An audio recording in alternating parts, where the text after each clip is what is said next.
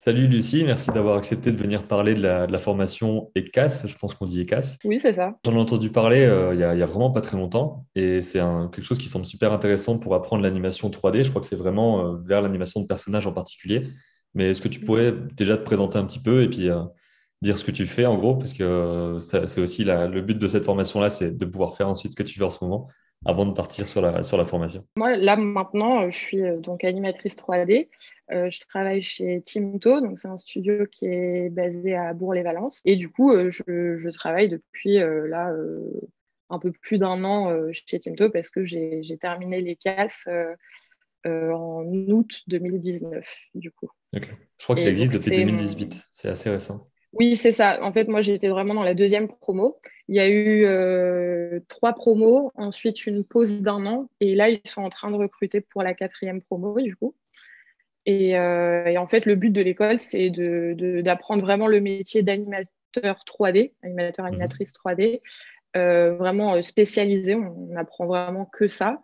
Et, et, dans- et ensuite, on peut travailler pour Tinto, donc, qui est le studio qui a développé cette école. du coup. Et par exemple, là, de- depuis que tu travailles, du coup, tu as travaillé sur quelle, euh, sur quelle production euh, qui serait déjà euh, sortie, que tu as le droit de, de dire peut-être? Alors, pour l'instant, rien. Rien n'est sorti. Ouais. Moi, en fait, je... donc, en sortant de les cases, j'ai pas tout de suite commencé à travailler parce que, euh, il y a eu un, un temps où il y avait, avec le Covid et tout ça, il y a eu un, un- un moment où il y a eu pas trop de production Mhm. au studio. Donc, euh, j'ai travaillé sur des shorts euh, du, du dessin animé euh, Angelo la débrouille Ouais. pendant un mois et demi.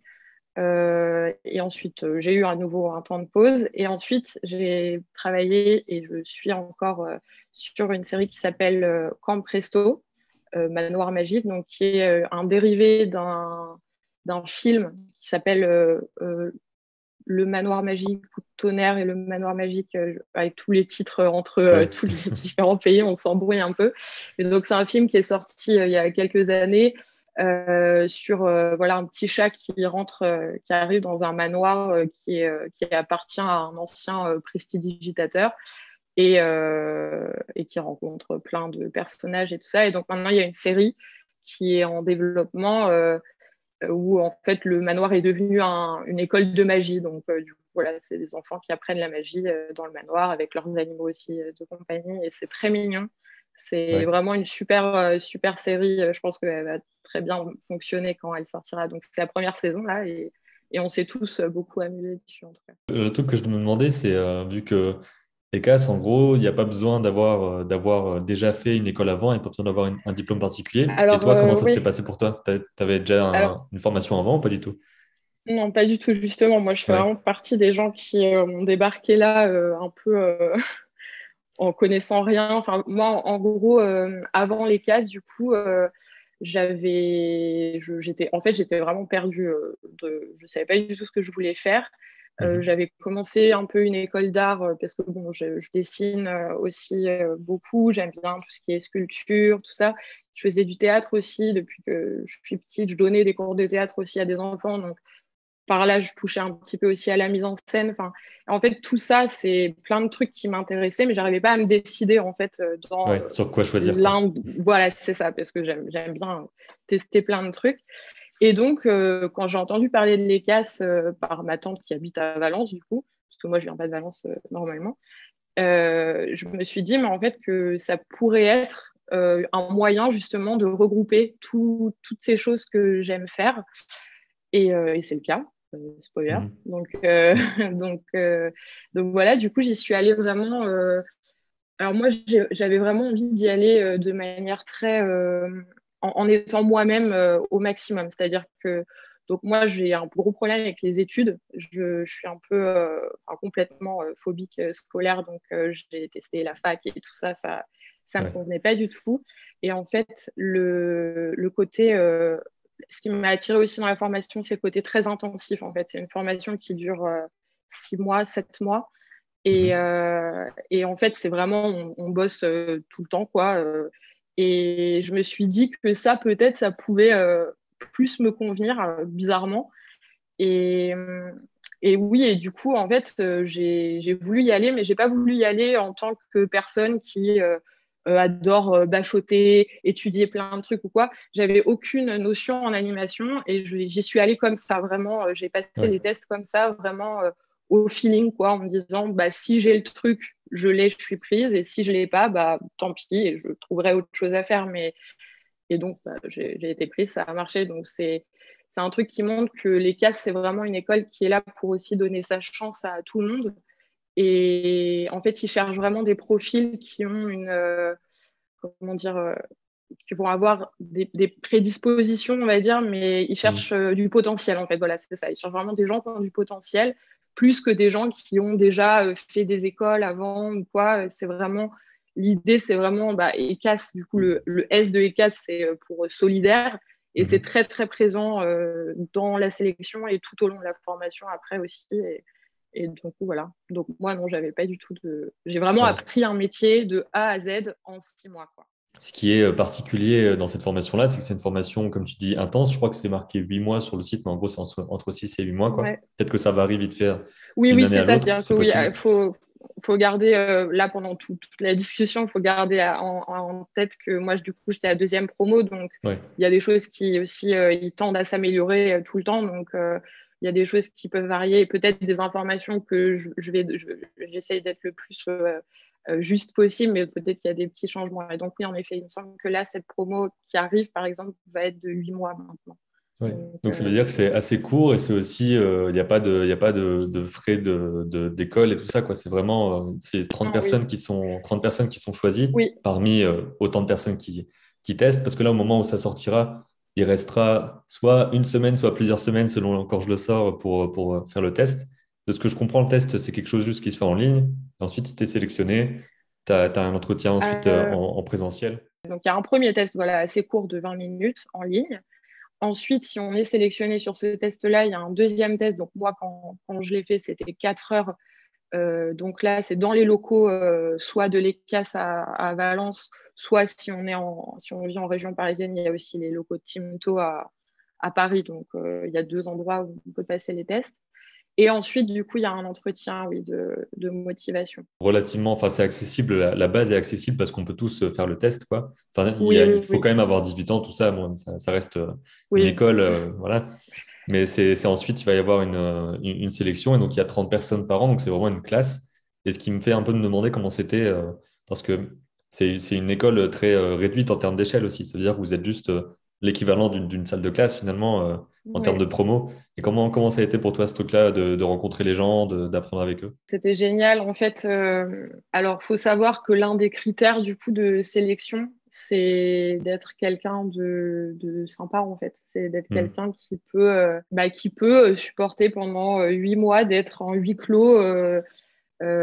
Du lundi au samedi de 8h à parfois 23h si on fait des, heures sup pendant, pendant, voilà, pendant 8 mois de supporter d'être avec des gens et que ça se passe bien. Et en fait, à côté de ça, il y a vraiment beaucoup cette notion d'entraide. C'est-à-dire que moi, par exemple, qui suis arrivée là avec zéro notion dans rien du tout, je dois autant ma réussite du coup de cette formation aux autres élèves que euh, aux formateurs parce qu'il y a vraiment cette, cette solidarité, ce truc de euh, ah j'arrive pas à faire un truc là, je n'arrive pas à piger. Euh, est-ce que quelqu'un peut m'aider? Oui, bien sûr, et tu te retrouves avec mm. cinq personnes derrière toi qui sont là. Alors, tu as essayé de faire ça et ça et machin, et c'est, c'est ouf, quoi. C'est, vraiment génial. C'est une expérience qui est incroyable et, et ça, ça, perdure ensuite au studio. C'est ça aussi qui est génial, c'est que comme c'est une formation qui est euh, professionnelle et que du coup, après, on se retrouve plus ou moins tous euh, à travailler euh, à Tinto, bah, du coup, il y a ce truc-là aussi de bah, là, je galère là-dessus, est-ce que quelqu'un peut venir m'aider Oui, bien sûr, pas de souci. Et c'est, et c'est hyper. il n'y a pas du tout de compétition, il n'y a pas du tout de truc de ah, moi, je veux être meilleur que machin. Non, pas du tout. C'est vraiment c'est hyper bienveillant, quoi, et c'est génial, quoi. Pour une formation qui est aussi intensive et aussi, euh, aussi forte, qui prend autant d'énergie, euh, c'est génial que ça se passe aussi bien à ce niveau-là, parce que sinon, je pense qu'on craquerait tous euh, très fort. 30 personnes, enfin, vraiment, c'est super, ça fait une petite classe, et puis on faisait des trucs ensemble, parfois on organisait des sorties pour décompresser, des trucs comme ça, Et non, il y a un bon, ils, arrivent bien à, enfin, en tout cas sur ma promo et je sais sur la promo d'avant, celle d'après je connais un peu moins, mais je sais qu'ils arrivent à, sélectionner des gens qui s'entendent bien entre eux. Et, au niveau des, des, exercices, justement, comment ça se passait? Parce que c'est uniquement animation 3D, donc c'est c'est vraiment basé sur euh, apprendre à faire euh, des, cycles de marche d'abord, puis ensuite euh, apprendre petit à petit, ensuite faire des scènes. Comment ça marche? Alors, ça marche par module. On va avoir, c'est un peu comme si on avait une matière pendant deux semaines ou pendant un mois, et puis ensuite une autre matière. Et en fait, ça se, ça, ça se construit comme ça, c'est-à-dire qu'il va y avoir les fondations, ça va être la première matière. Après, et si on ne maîtrise pas une première, un premier module, bah, du coup, ça va être un peu plus compliqué. Mais malgré tout, le module qui vient après, bon, bah, ça fait que si on n'a pas trop bien acquis les trucs du premier module, et ben, le deuxième module revient dessus forcément, parce que si on ne maîtrise pas le premier, on ne peut pas comprendre bien le deuxième. Et petit à petit, ça se, on apprend comme ça. Et donc, on démarre vraiment avec la bonne ball. Hein. C'est vraiment euh, le, le, truc de base, on a fait pendant euh, des semaines et des semaines euh, de vraiment euh, le principe de la balle qui rebondit et, où on se rend compte qu'en fait bah, tout marche un peu comme ça. En fait, finalement, mmh. même, même, même animer un humain, en fait, c'est un peu, un peu sur les mêmes principes. Donc voilà, bouncing ball, bouncing ball avec des, des jambes, bouncing ball avec une queue pour faire tout ce qui est retard et tout ça. Ensuite, euh, alors, euh, ensuite, on apprend le posing. Donc, on commence avec le posing. Où, donc, du coup, le posing, c'est le, fait de, bah, de faire une pose d'un personnage parce qu'en fait, on, on apprend que voilà, euh, tous les principes de, de l'animation et donc notamment que bon, bah, voilà, l'animation, c'est si on n'a pas une bonne pose qui marche, après, mmh. on peut faire ce qu'on veut, ça ne marchera pas. Posing sans les visages. Donc juste vraiment des personnages avec euh, des corps sans visage. On apprend à faire ensuite bouger euh, vraiment le, personnage. Et ensuite, on arrive au visage euh, et puis au lip sync. C'est graduel. C'est, on part de tout petit et puis on, monte. Et en fait, le principe, c'est que par exemple, alors moi, par exemple, je suis très, très euh, nulle en tout ce qui est informatique et logiciel, mmh. tout ça, c'est pas du tout du tout mon truc. Donc, c'était ce qui me faisait un peu peur en faisant cette formation. Et j'avais raison d'avoir peur parce que c'est ce qui m'a vraiment valu de passer euh, des soirées euh, jusqu'à 23 heures euh, pour maîtriser ouais, ça. c'est forcément technique. Et c'est ça, carrément. Il y a vraiment un gros côté technique. Et donc, bah, il y a des gens qui sont à l'aise avec, d'autres non. Moi, moi, non. Mais ça s'apprend quand même hein, sans problème. Ce que moi, j'ai trouvé bien, c'est qu'il n'y a pas de cours théorique, en fait. Enfin, on va avoir des moments où on va se rassembler on va nous expliquer euh, des principes de base, quoi, parce que bon, forcément, si on ne les a pas, on ne peut pas avancer. Mais c'est quand même surtout centré sur, alors voilà, aujourd'hui, on va apprendre à euh, faire sauter une balle avec la queue euh, qu'il y a derrière. Donc, on va apprendre le retard. Donc, c'est là qu'on apprend, on nous explique le principe du retard, comment ça fonctionne et tout ça. Et ensuite, on fait, on va, on fait quoi On fait, on essaye de le faire. Si on n'y arrive pas, on demande euh, à côté, euh, la personne à côté, si elle est meilleure que nous, euh, de nous donner des conseils. On peut retourner voir absolument le formateur pour si on a une question. C'est très, très. Il n'y a pas de notion de. Bah, en fait, il n'y a pas de notes déjà. C'est ce que j'allais demander, oui. J'allais dire, est-ce que c'est surtout du euh, aller-retour, euh, correction et tout ça C'est vraiment ça. C'est bienveillant, quoi. C'est très, très bienveillant. C'est vraiment, euh, voilà, il n'y a pas de note, en fait. Il n'y a pas ce truc de, on fait un contrôle, on a une note, t'as as réussi, t'as raté, hmm. on passe. Non, c'est vraiment, on fait des exercices. Là, ce truc-là, dans l'exercice, tu l'as pas bien réussi. Donc, du coup, pour t'améliorer, fais ça, ça, ça. Et c'est vraiment, bah, comme, comme en fait, après, en, en prod, en fait, c'est en prod, c'est comme ça que ça se passe. C'est-à-dire qu'on va faire un plan, on va l'envoyer, puis si ça ne va pas sur certaines choses, on va avoir des retakes. Donc, euh, le superviseur va dire, bah, alors, euh, c'est bien, mais par contre, là, euh, il faudrait que la main, elle fasse un peu plus ça plutôt que ça. Donc, OK, on reprend le plan, on refait. Et en fait, l'école, elle prépare à ça aussi. La philosophie, c'est vraiment, en fait, on est là pour qu'à la fin, vous sachiez bosser, quoi, pour que vous, vous vous soyez assez bon pour faire votre boulot, que vous fassiez bien et que vous vous éclatiez dedans. Donc, euh, apprenez quoi. Donc un truc que je me demandais, c'est justement, tu dis que c'est le studio Timto qui a mis en place cette formation-là. Et les, formateurs, est-ce qu'ils viennent tous de là? Est-ce que c'est des formateurs aussi extérieurs? Et à quel point les gens partent vers ce studio-là et certains partent vers d'autres studios? Qu'est-ce qu'il y a euh, par rapport à ça quoi? Alors, euh, les formateurs, c'est oui, c'est des, soit des animateurs seniors du studio Timto, soit des superviseurs d'anime. Moi, par exemple, en ce moment, le, superviseur que j'ai sur euh, la série sur laquelle je travaille, c'est l'un des formateurs de l'ECAS. Donc, ça, c'est top aussi parce que du coup, quand on arrive au studio, bah, ils nous connaissent aussi et ils savent mmh. de quoi on est capable. C'est un peu moins stressant que. Parce que il y a ce côté un peu quand même de se dire bon, on a fait six mois de formation euh, enfin huit. Au bout de huit mois, j'ai terminé les cas, je l'ai validé. Euh, j'avais pas du tout l'impression d'être capable euh, d'animer. Hein. vraiment, je, me disais, euh, oulala, mais ok, j'ai appris ça, mais là, comment ça va se passer en, Quand on va te mettre sur des vraies scènes et tout ça, quoi. Ouais, c'est ça, parce que les cas, il y a ce côté où on, reste longtemps aussi sur des exercices et tout. Timto, c'est de la série, donc du coup, bah, il y a le côté très euh, rapide et euh, voilà, des, des, plans où en série on va les faire en 4 heures. Euh, les casses, ça a duré une semaine, quoi. On pouvait revenir dessus. Et, et, du coup, j'ai eu un peu cette crainte-là, mais donc ils savent en fait, ils savent très bien à qui ils peuvent faire confiance ou pas, ils savent très bien ce que valent les gens, et ça, je trouve ça incroyable. Je ne sais pas comment ils. Enfin, je trouve ça fou d'arriver à, à, voir ça. Mais donc, ça s'est très bien passé après, une fois que je suis arrivée au studio, parce qu'en fait, bah, c'est un peu une continuité aussi. Et, et, donc, ça va vers la question de euh, qui va au studio et qui n'y mm. va pas. En vrai, euh, de ma promo, en tout cas, je crois qu'il n'y a que deux personnes, euh, une personne qui n'est pas, qui pas allée au studio et qui n'est pas allée chez Timto ensuite. Et c'est parce qu'il voulait partir au, Canada, parce qu'il avait sa, sa copine là-bas et que bon, il, ne voulait pas rester en France, quoi. Mais, mais sinon, Sinon, non, tout le monde va chez Timto parce que je pense qu'on a peut-être un peu tous cette sensation de euh, un peu illégitimité euh, plus psychologique que par rapport à, nos capacités, euh, peut-être un peu un syndrome de l'imposteur quelque part, de se dire est-ce que je suis vraiment capable là d'être d'aller dans un autre studio et tout. Et le fait d'aller chez Timto, il y a un côté un peu plus rassurant de se dire bon, ils nous connaissent, ils veulent qu'on réussisse aussi parce que bah il y a ce côté où c'est la continuité de l'ECAS malgré tout. c'est pour ça qu'ils ont fait ça aussi. Euh, c'est ça, voilà, exactement.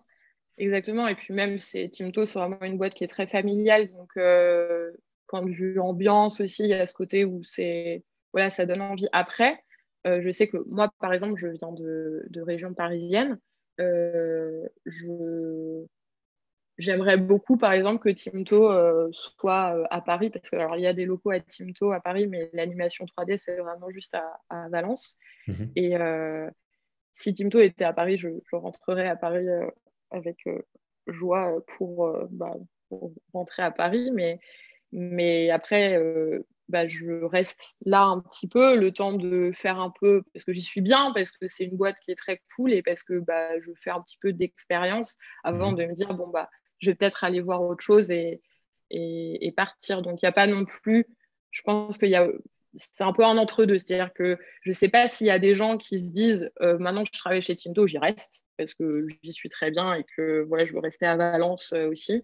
Ou euh, la majorité des gens, j'ai l'impression que c'est un peu ça. C'est un peu, je suis chez Tinto, c'est très bien, je continue de me perfectionner et puis au bout d'un moment, j'irai voir autre chose. Puis il y a le métier qui veut ça aussi. Que, ouais, ce que j'allais dire. C'est un métier qui est aussi assez assez comment, nomade. Donc, euh, du coup, bah, si on a envie un jour de tester du long métrage, il y a des choix à faire et on bouge et, voilà. C'est assez classique dans, dans ce métier-là, quoi, de bouger, de faire d'autres choses. J'imagine qu'en termes de, de, statut aussi, euh, vous êtes aussi intermittent en bossant en mm. Timto. Il n'y a pas de question d'employé ou quoi. C'est comme ça pour la grande majorité des animateurs. Oui, oui, complètement, oui. C'est qu'en en fait, oui, on, en fait, on a le statut intermittent, mais euh, il ne se ressent pas tant que ça, parce qu'en fait, ça reste euh, des horaires, euh, voilà, hein, c'est 9h, 18h tous les jours de la semaine, sauf le samedi et le dimanche. Et puis, et pendant un an, enfin, moi, la, la prod sur laquelle je suis, elle se termine le 23 avril et elle a commencé le 23 avril de l'année dernière. Donc, Ouais, c'est assez long à chaque fois. ouais, c'est ça. Ça reste.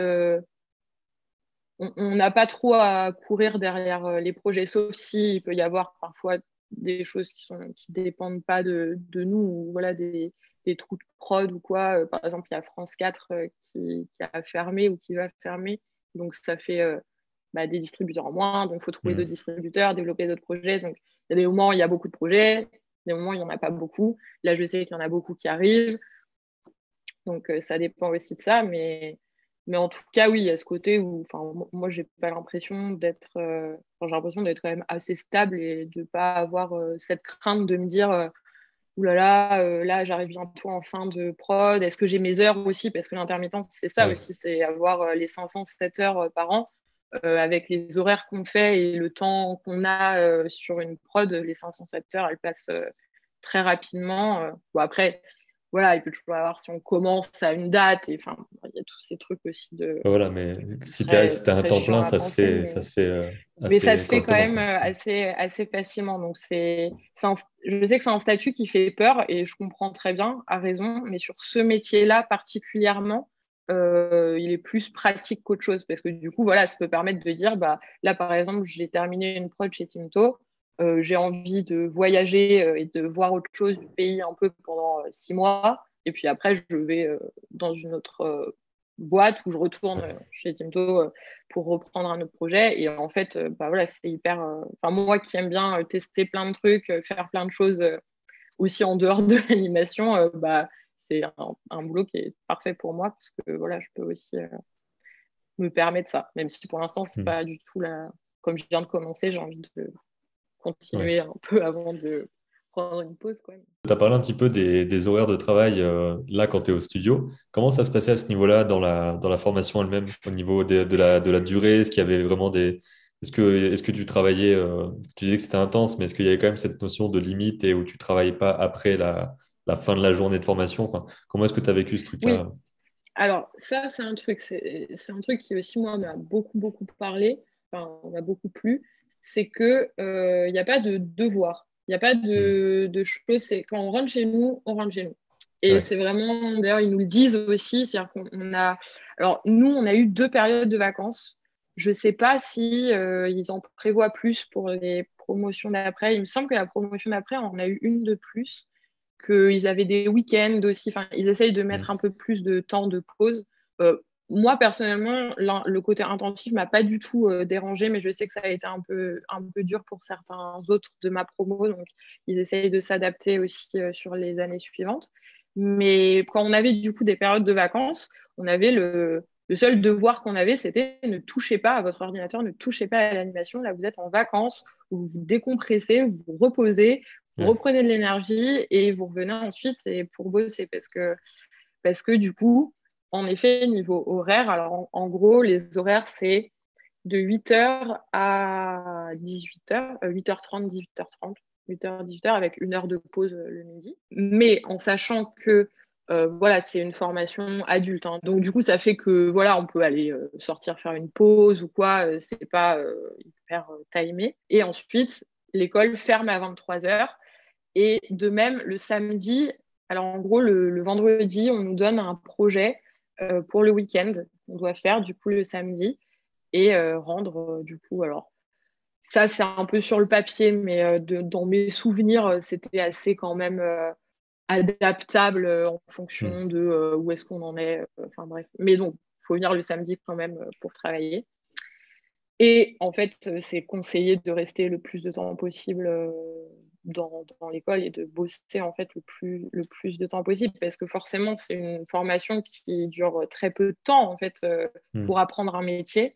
Donc il euh, faut vraiment en profiter euh, un maximum. Et, et, je sais que moi je l'ai fait mais bon en même temps je, j'en ressentais pas trop le choix non plus vu que je suis arrivée là en, en connaissant rien du tout. Donc les, les premiers mois c'était même pas envisageable que je sorte à 18 heures euh, après, euh, le temps passant, il y a eu quand même certains soirs où je, me suis accordé un peu plus de répit. Moi, en tant qu'ancienne euh, stagiaire du coup de, la formation, je conseille aussi vraiment aux gens qui l'affrontent de prendre ce temps-là. Parce qu'en fait, faut, faut pas le voir comme un temps de oh non, c'est du travail en plus, c'est long, je suis fatiguée, machin. Il faut vraiment le voir comme un temps qui nous est donné pour nous perfectionner un temps qu'on n'aura pas ensuite en hmm. production en fait parce que du coup après bah, ça va vite pour rendre les plans dans les temps euh, c'est pas conseillé du tout euh, de faire des heures supplémentaires euh, en prod. De la même manière, le studio ferme un peu plus tard que, on peut rester un peu plus longtemps, mais mais c'est pas conseillé parce que ça peut fausser les quotas, parce que c'est important pour eux de savoir aussi combien de temps on met sur tel plan pour savoir aussi par rapport au budget combien est-ce qu'on est bien dans, dans, le budget ou est-ce qu'il faut. Donc les casses, c'est vraiment s'il y a un moment où on peut en profiter pour pour approfondir les plans et comprendre les choses et tout, c'est vraiment, faut, faut le faire. Et donc, ce temps qui est, qui est donné en plus, euh, bon, pour moi, c'était vraiment pas du tout une, une corvée. Euh, enfin, c'était mm. vraiment un temps pour, euh, pour apprendre mieux, quoi, et, comprendre et, et s'améliorer pour, pour être, être plus à l'aise dans son travail, en fait, parce que c'est ça aussi, c'est pas s'améliorer pour s'améliorer pour avoir une bonne note ou pour être bien vu ou je sais quoi. C'est vraiment genre, bah, j'ai envie de sortir de là en, maîtrisant mon métier en fait. Donc c'est pour ça que c'est assez intensif. Et j'imagine qu'en termes de, matériel et de logiciel, c'est euh, bah, déjà fourni forcément, enfin vous avez, vous avez tout ce qu'il faut, et que c'est certainement similaire à ce que tu as eu juste après en entrant dans le studio, du coup? C'était vraiment les mêmes types d'outils, quoi? Alors, euh, oui, nous, notre promo, on a commencé sur le, logiciel de Timto, mais maintenant, ils font l'inverse parce que du coup, en fait, il est forcément beaucoup plus euh, optimisé pour l'animation parce qu'en fait, c'est un logiciel qui est vraiment juste animation. Donc, on avait commencé là-dessus et en fait, c'est un peu comme si on avait appris à conduire en Porsche et qu'ensuite, on nous mettait une Twingo. Et du coup, on était là, euh, oh, waouh, quoi, mais on n'y arrivera jamais. Enfin, il y a eu toute, un, toute une période de euh, gros désespoir de se dire, oh mon Dieu, mais, mais en fait, c'est ça l'animation, parce qu'après, il y a ce truc où on se dit, bah, ok, si on va chez Tinto, on va travailler sur ce logiciel-là, mais si on va autre part, euh, comment on va faire comment Enfin bref, donc on a eu cette panique-là, et donc je sais que sur les, la promo d'après, du coup, ils ont commencé avec Maya, et ensuite ils sont partis sur, euh, sur le, le, deuxième sur temps, du coup. Mais oui, du coup, chez Timto, euh, ils, tendent à aller plus euh, à tout basculer sur leur, euh, leur, leur soft en fait. Et du hmm. coup, voilà. Mais il y a encore des productions, par exemple, Timto fait Pyjamasque. Euh, Pyjamasque, c'est sur Maya, ça restera sur Maya, je pense. donc, malgré tout, on, peut aller de l'un à l'autre. oui, parce que ça reste le gros, le gros standard, quoi utilisé dans beaucoup, bah, beaucoup de, C'est sûr que de toute façon, euh, je pense que Maya, on ne peut pas y couper euh, quoi qu'il arrive. Hein, donc, euh. Et franchement, moi, ça ne m'étonnerait pas que voilà, la formation, elle est toute jeune, mais ça ne m'étonnerait pas que petit à petit, ils, aillent même vers d'autres. Enfin, par exemple, Blender, je pense mhm. que peut-être un jour, ils, se diront, on va faire un, un côté aussi, on va apprendre un peu à aller sur Blender. Mais bon, à côté de ça, tous les logiciels se ressemblent quand même. Oui, de toute façon, euh, l'important de la euh, formation, c'est les principes de l'animation. Euh, c'est ça, voilà. Donc, donc après, qu'on soit sur Blender, Maya, c'est un coup à prendre, je pense, une petite, adaptation au début, et puis après, ça marche. D'ailleurs, moi, quand je j'ai commencé du coup chez Timto, donc en décembre 2019, j'ai fait donc un mois et demi sur euh, des, cours, des teasers en fait pour euh, la saison 5 de Angelo euh, La Débrouille. bah, c'est sur Maya. Et en fait, bah, moi, du coup, donc, sur, sur ma... moi, vraiment, je suis sortie de l'écasse en me disant, alors là, si je vais sur Maya, je, je suis morte, je n'arriverai jamais. Et en fait, non, c'est très, très bien passé parce que c'est. Bah, faut avoir confiance aussi. Ça, c'est un truc des animateurs, on n'a pas trop confiance en nous. c'est c'est un peu un truc à, régler, je pense. Euh. J'ai l'impression que ça se recoupe, ouais. C'est un équilibre à trouver parce que c'est presque sain des fois de ne pas être trop, trop confiant non plus. Euh, faut, trouver oui, ah non, bien sûr, c'est forcément, oui, c'est sûr que c'est un équilibre à trouver. Mais c'est vrai qu'il y a un peu ce truc de, par exemple, on va euh, des, des, gens qui vont montrer un plan et le plan est très cool Et euh, on, va, lui dire, bah, c'est très cool ton plan, c'est mm. bien et tout. Et être là, genre, mais non, pas du tout, c'est trop nul. Et c'est un, peu, un peu trop. Il y a un peu ce truc de s'auto-flageller, s'auto. Euh, alors qu'en fait, non, c'est bien de pouvoir aussi dire, bah, là, ça, ce plan, je l'ai géré, il est cool. Euh, après, bien sûr, il n'est pas parfait. Mais ça, évidemment, il n'est pas mm. parfait. Il y, a, ça, ça qui ne va pas. Mais, mais je pense que c'est important de garder un peu de positivité quand même. Bah ouais, c'est clair. Et c'est vrai que on est des artistes quand même. En fait, on, aime ce métier. C'est vraiment un métier. Je ne comprends pas comment quelqu'un pourrait faire ce métier sans l'aimer, par exemple. C'est du coup. Tu, euh, tu le deviens pas vraiment par accident, ouais, aussi. ouais, voilà, c'est un truc. Euh, on peut pas y arriver comme ça parce que juste on a vu de la lumière et on s'est dit allez pourquoi pas je vais faire ça. donc euh, donc du coup autant être un peu plus. Enfin essayer de, de se se motiver un peu plus, mais sans se, sans se descendre, quoi. Parce que, donc voilà, donc il y a vraiment ce truc de les animateurs 3D en général, ils sont un peu. Euh, trop, euh, trop exigeants aussi. Euh, enfin, je pense même de manière générale, dès, que tu, dès que tu fais du dessin, de la création visuelle et tout. Oui, oui dès, qu'on touche à l'art, hein, de toute manière. Tu te mets tellement des références les meilleures du monde mm. que toi, après, tu te dis, je suis pas. Mais bon. Bah, nous, en, à l'ECAS, on nous a appris ce truc de, de KISS, de Keep It Simple Stupid. Genre euh, de se dire, euh, en fait, une animation, euh, il ne faut pas partir dans plein de trucs et se dire, et puis je vais faire ci et ça et machin. Fais un truc simple, fais-le bien et ce sera nickel. Et ça, c'est un truc à garder vraiment en tête parce qu'en tant qu'artiste, je pense, on a beaucoup ce truc de dire, et puis si je rajoutais ça, puis là je vais une explosion et un truc et machin, alors qu'en en fait, non, on, demande juste à un mec qui fait coucou. Quoi. Et la transition vers, euh, vers euh, la, la, vie et le travail au studio, ça a été du coup dans ce côté, euh, dans ce côté maintenant il faut faire les choses vite et bien et tout ça. Il y a, eu, j'imagine, une phase d'adaptation, mais ensuite, ça, oui. comment ça a été quoi? Oui, bah, alors au début, on ne fait pas du tout les quotas, hein, mais il faut, faut se dire que c'est normal personne, euh, quand mm. ils commencent, euh, fait. Enfin, il peut y en avoir ils sont très bons, parce que bon, après, il y a forcément des différences de niveau entre les gens, mais, mais c'est acceptable, euh, que, enfin, c'est accepté qu'au début, quand on débute, on n'est pas.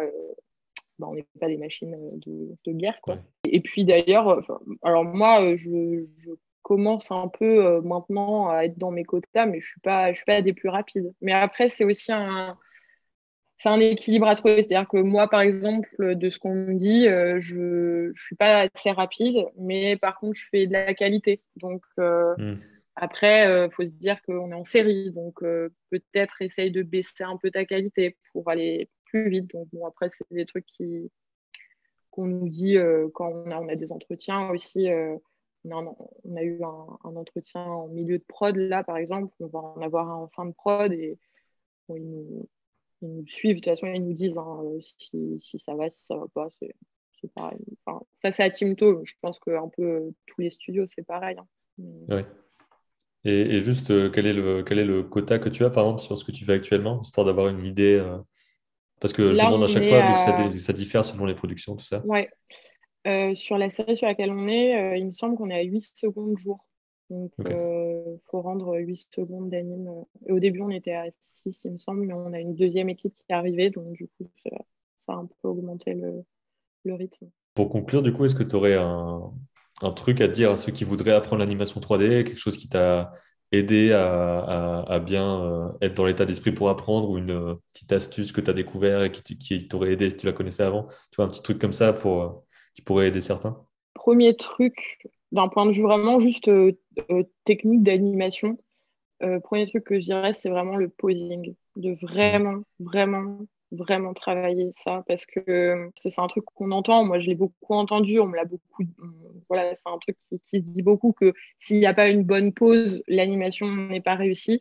Mais je pense que c'est, faut, faut, jamais assez le répéter parce que c'est vraiment en fait, je pense, moi, moi, la façon dont je vois l'animation, c'est comme si euh, j'essaye de visualiser en fait tout le, comme si chaque pose était devant moi tout le temps, en mmh. fait, euh, comme si j'essayais de visualiser tout le mouvement et de, penser vraiment esthétique. Mais bon, ça, c'est parce que moi, je fais partie de cette catégorie d'animateurs qui sont très, euh, bah voilà, je dessine, je fais de la sculpture, tout ça. Donc, du coup, j'ai cette ce truc de voir les choses de manière esthétique. Je sais qu'il y a des gens qui voient les choses de manière plus euh, euh, euh, physique, par exemple, de dire ah, mm. là, si le bassin il est comme ça, il va y avoir ça. Voilà, mais je pense que dans tous les cas, le posing, c'est vraiment le truc. Il faut vraiment pas faire l'impasse dessus. Moi, quand j'anime, je passe 80% du temps sur le posing et les 20% restants, c'est du mouvement. Quoi. Donc, vraiment, et ça va tout seul après. Hein. Donc voilà, ce conseil euh, animation euh, que, je pourrais donner en tant que euh, petite novice hein, quand même. ne perdons pas ça de vue, mais voilà. Posing et s'amuser, s'amuser vraiment. c'est un métier qui est, formidable en fait. C'est un métier qui est vraiment qui a plein de possibilités où on peut vraiment s'exprimer, où on peut vraiment mettre de, l'émotion dans ce qu'on fait. Mhm. Et ça, c'est un autre conseil que je dirais, c'est vraiment, c'est jouer en fait. Euh, je sais que moi, quand je dessine, euh, automatiquement, je me retrouve à toujours, si je dessine un personnage, euh, je fais, ma tête fait l'expression que je dessine sur le personnage. Et en fait, l'animation, c'est, faut le prendre comme ça aussi. C'est vraiment, j'anime un personnage qui est triste, et ben automatiquement, je, je, vais me mettre dans un, dans un une, sensation de tristesse, même si je ne me filme pas, même si, mais juste, bah, c'est incarner ce personnage, même mhm. si on ne l'incarne pas devant une caméra ou quoi. C'est, c'est vraiment, s'il n'y a pas ça, euh, il n'y a pas d'émotion, il n'y a pas de, il a pas ce qu'il faut, quoi. Oui, parce que j'imagine que c'est comme ça que tu peux rendre n'importe quel plan, même euh, un plan tout simple, tu peux le rendre un peu plus euh, intéressant à faire. Quoi. Je pense qu'il y a toujours un point intéressant et, challengeant à trouver sur n'importe quel plan. On peut toujours trouver un truc où, parce qu'en effet, il va y avoir parfois des plans où, en termes d'émotion ou quoi, enfin, alors moi, moi, ce que j'aime, c'est l'acting surtout. Donc, euh, je, parle en disant ça, mais bon, c'est pareil pour quelqu'un qui préfère faire de la body makeup, qui aime bien faire des sauts, des machins ou quoi. S'il se retrouve avec un plan euh, d'acting, qu'il n'aime pas faire ça, bah, du coup, il va y avoir au début peut-être un petit truc de, oh, bon, alors, c'est pas ce que j'aime faire. Mais justement, euh, se dire que, OK, bon, bah, j'aime pas le faire trop, mais euh, vas-y, j'ai envie de le faire bien et, je, vois comment je peux rendre ça intéressant pour moi, en fait, parce qu'il y a toujours moyen de, faire ça. Et, et, je pense que ça, c'est un truc à vraiment garder en tête parce que c'est ce qui fait que, euh, en discutant avec des gens, euh, qui sont aussi animateurs depuis des années, parce que moi, forcément, j'arrive là, euh, ça fait un an que je fais ça, donc j'ai encore plein d'étoiles dans les yeux, quoi. mais, euh, mais je peux comprendre qu'au bout d'un moment, on devienne un petit peu, peut-être un, petit peu lassé, si, donc c'est pour ça aussi qu'on part, on peut changer de studio et tout ça. Mais vraiment garder ce truc de, on apprend tout le temps. On apprend tout le temps, c'est vraiment un métier qui, qui nous fait apprendre tout le temps en permanence, et c'est génial, et c'est vraiment un truc de euh, pas se dire euh, bah là c'est bon, je, maîtrise ça, j'ai besoin, il y a toujours à apprendre parce que l'animation parfaite n'existe pas, on ne pourra jamais reproduire exactement à l'identique quelque chose de, juste naturel et, humain ou animal. Ou, euh, et du coup, bah, c'est trop cool de se dire que ça ne s'arrête jamais en fait. Toujours plein de choses à voir. C'est une bonne conclusion. et bah, justement, bah, que les gens n'hésitent pas à aller voir le site de l'ECAS, enfin, je, le, je le mettrai euh, pour que les gens aillent voir ça parce que c'est très complet la façon dont ils expliquent tout ça. Et il devrait rester euh, un petit peu de temps pour faire le test. Donc peut-être que certains ou certaines vont découvrir et pouvoir y aller. Euh. Du coup, oui, s'il y a des gens qui sont intéressés par cette école, je ne la conseillerais jamais assez. Moi, vraiment, c'est ça a été une expérience incroyable. Et quand ça s'est terminé, j'étais très triste que ça se termine, quoi, alors qu'on a bossé comme des fous quoi, pendant huit mois, mais mais ouais, c'est hyper. On apprend plein de choses. On apprend plein de choses euh, humainement et euh, techniquement.